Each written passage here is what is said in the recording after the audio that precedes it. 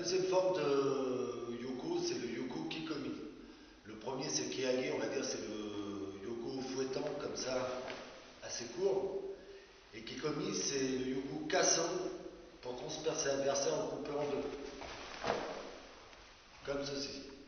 D'accord? Donc là, pour le travailler, ce qui est important, c'est de venir ici, de bien ouvrir la hanche, c'est-à-dire le pied d'appui, monter, tourner, frapper, ramener. D'accord Monter en tournant, frapper, ramener. Et ça donne ça au niveau du, combat, une forme en surréagi. Voilà, on frappe.